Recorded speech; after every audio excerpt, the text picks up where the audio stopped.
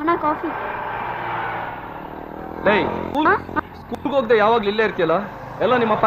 ಅವರು ಅವ್ರು ಕುಡಿದ್ಬಿಟ್ಟು ಎಲ್ಲಿ ಬಿದ್ದು ಒದ್ದಾಡ್ತಾ ಇರ್ತಾರೋ ಗೊತ್ತಿಲ್ಲ. ನಾನೊಬ್ಳೆ ಈ ಪರಿಸ್ಥಿತಿಯಲ್ಲಿ ಏನ್ ಮಾಡಕ್ಕಾಗುತ್ತೆ?